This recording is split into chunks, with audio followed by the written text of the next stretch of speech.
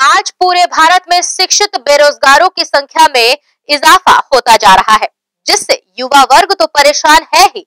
साथ ही पालकों के माथे पर भी चिंता की लकीरें उत्पन्न हो चली हैं कि एक तो आज पढ़ाई का खर्च इतना है कि इसे वहन करने के लिए कर्ज लेना पड़ रहा है और उसके बाद कर्ज की वापसी करना इसलिए मुश्किल हो रहा है कि पढ़ाई पूरी करने के बाद भी युवाओं को रोज़गार नहीं मिल पा रहा है।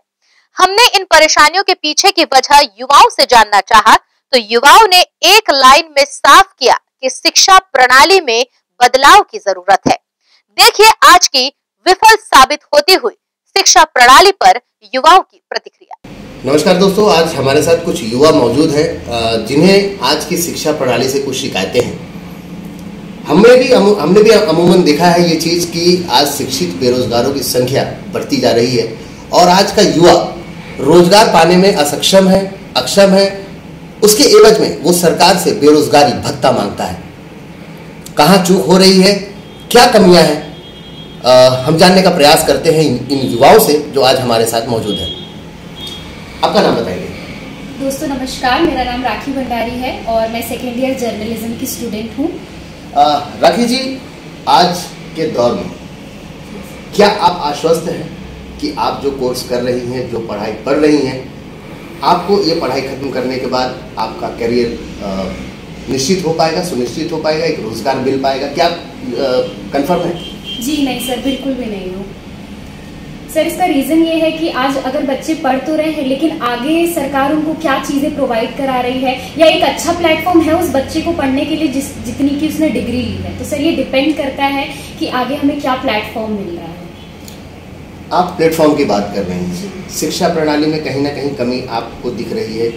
क्या ऐसी कमी दिख रही है? आ, सरकारी नौकरियों में भी कमी लगातार आती जा रही है और आ, जो निजीकरण हो रहे हैं वो भी एक बहुत बड़ी ज़िम्मेदारी है। तो क्या मानना है आपका कि और क्या इसमें पढ़ाई में जुड़ना चाहिए? आपका जिससे आप अपने रोज़गार को लेकर के अपने करियर को लेकर आश्वस्त हो सकें।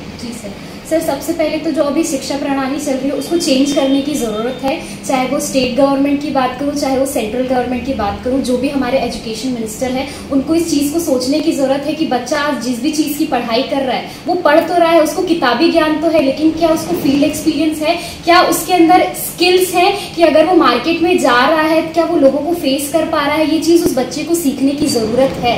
और ज़रूरत है वो उस बच्चे को भी पता है, लेकिन सिखाने वाला कोई नहीं है। उस चीज़ को बताने वाला कोई नहीं, एक मार्गदर्शन देने वाला कोई नहीं है। तो सबसे पहले तो एक अच्छी यूनिवर्सिटी जो इंस्टीट्यूशन है, उनके टीचर्स को ये समझने की ज़रूरत है कि हमें अपने बच्चों के अंदर ये चीज़ें डालनी है। और सर, बात रही प्राइवेटाइजेशन की तो सर प्राइवेटाइजेशन होना भी चाहिए, क्योंकि आज जो एक अच्छा एक्सपोजर चाहिए होता है, वो बच्चों को वो सरकार से ज़्यादा ना प्राइवेट कंपनीज़ दे रही तो ये बहुत अच्छी चीज़ है सर। दोस्तों, इनका साफ़ कहना है स्किल डेवलपमेंट मस्ट इंपॉर्टेंट मतलब आपको करियर से संबंधित किसी भी इंस्टीट्यूशन को ये चीज़ सोचने की ज़रूरत है कि एकेडमिक क्वालिफिकेशन के साथ में किसी न किसी प्रकार की टेक्निकल क्वालिफिकेशन भी दी जाए जिससे आज का युवा आश्वस्त हो सके कि वो अपना करियर बना सकता है और उसे रोज़गार मिल सकता है। हमारे साथ कुछ और लोग हैं उनसे भी हम बात करेंगे। जी आपका नाम बताएँगे मेरा नाम मनीषा शुक्ला है और मैं अभी सिविल सर्विसेज़ की प्रिपरेशन कर रही हूँ। दोस्तों सिविल सर्विसेज़ का प्रिपरेशन चल रहा है इनका। मतलब ये है कि एकेडमिक क्वालिफिकेशन से अलग हट करके इन्होंने खुद ये रास्ता चुना है लेकिन इसके लिए इन्हें ट्रेनिंग करनी पड़ रही है। आपसे एक चीज़ जानना चाहूँगा जो आप सिविल सर्विसेज़ की ट्रेनिंग कर रही हैं क्या गवर्नमेंट इसको दे रही है? गवर्नमेंट प्राइवेट आप प्राइवेट प्राइवेट तौर पे इसको कर रही हैं। क्यों आपने ये रास्ता चुना? क्या सरकारी जो सरकारी तंत्र है जो सरकारी शिक्षा की व्यवस्था है क्या उसमें आपको नहीं लग रहा था कि आपकी जॉब लग जाएगी? हम्म, नहीं ऐसा नहीं लगा मुझे। तो मतलब कहीं ना कहीं जो सरकारी पढ़ाई है जो शिक्षा की जो प्रणाली है हम्म। उसमें कमी है? हाँ कमी है। दोस्तों इनका भी मानना है कि कमी तो है और उसे सुधारने की ज़रूरत है। किस प्रकार से सुधारा जाए? हमारे साथ और भी युवा मौजूद हैं हम उनसे भी जानना चाहेंगे। आपका नाम बताएँगे नमस्कार मेरा नाम निशा साहू है। निशा बताइए।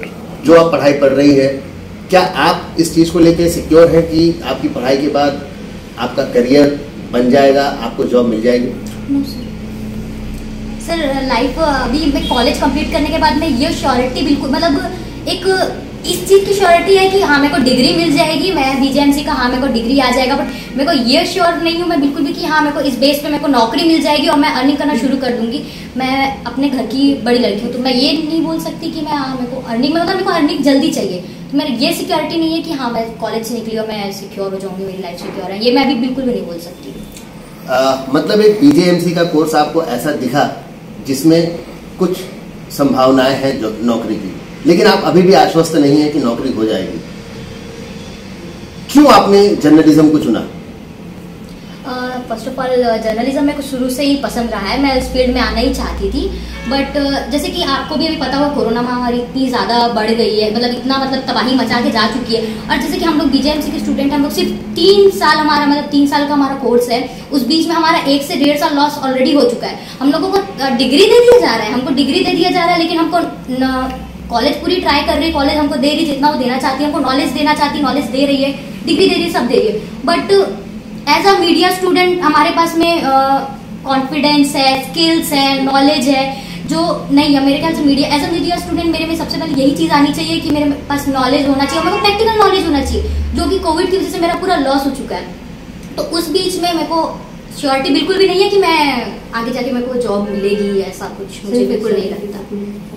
दोस्तों, अपनी शिक्षा को पूरी तरह से काबिल बता रही हैं, जो शिक्षा ये ले रही हैं, पूरी तरह से काबिल है। लेकिन फिर भी कहीं ना कहीं मन में एक डर है, क्योंकि फ़ील्ड का नॉलेज जो शायद कोविड की वजह से बोले, या इस पढ़ाई के सिस्टम में ही बोला जाए, शिक्षा के सिस्टम में वो चीज़ों की कमी है। और भी लोग हैं हमारे साथ जिन्होंने रास्ते पर शिक्षित बेरोजगारों को घूमते देखा है, और उन्हें देख करके उन्हें डर लगता है कि उनका क्या होगा। शिक्षा ग्रहण कर रहे हैं पूछते हैं कि किस तरह का डर है। जी आपका नाम बताइए। पूनम भारती।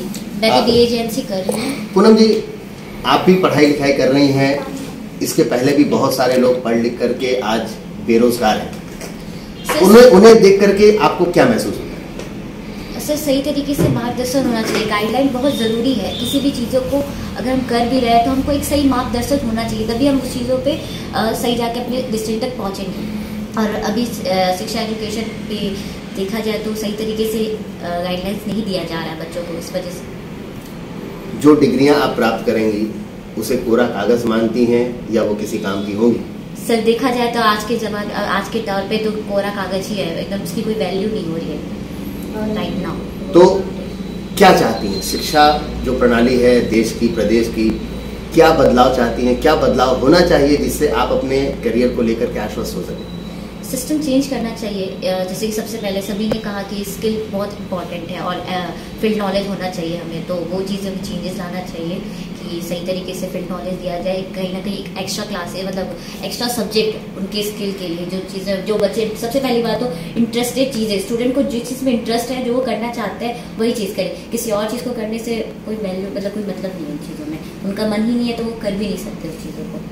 तो इनका भी कहना है स्किल डेवलपमेंट सरकारें कोई भी हो सबसे पहले अपने विद्यार्थियों का अपने स्टूडेंट्स का रुझान देखें कि पढ़ाई के साथ साथ किस क्षेत्र में उनका रुझान है। और शिक्षा प्रणाली में बदलाव आज के परिवेश में बहुत ही महत्वपूर्ण होता जा रहा है क्योंकि इसके बगैर अगर ये बदलाव नहीं होते हैं तो जिस तरह से आज सौ में से अस्सी युवा बेरोजगार होकर के सरकार की तरफ़ टकटकी लगाए बैठे हैं कि या तो हमें रोज़गार दीजिए या फिर बेरोजगारी भत्ता दीजिए। तो क्या ये युवा सिर्फ़ बेरोजगारी, भत्ता पाने के लिए अपनी शिक्षा को बढ़ा रहे हैं? शिक्षा ग्रहण कर रहे हैं? क्या इसके प्रति किसी भी सरकार की कोई ज़िम्मेदारी नहीं बनती है? यह बहुत ही विचारणीय विषय है दोस्तों, और इस पर ज़रूर जल्द से जल्द सरकारों को ध्यान देना होगा, वरना कहीं ऐसा ना हो कि हमारे देश में 90 प्रतिशत आबादी बेरोजगार हो जाए। ग्रैंड एशियन न्यूज़ के लिए मैं हूँ संतोष शर्मा।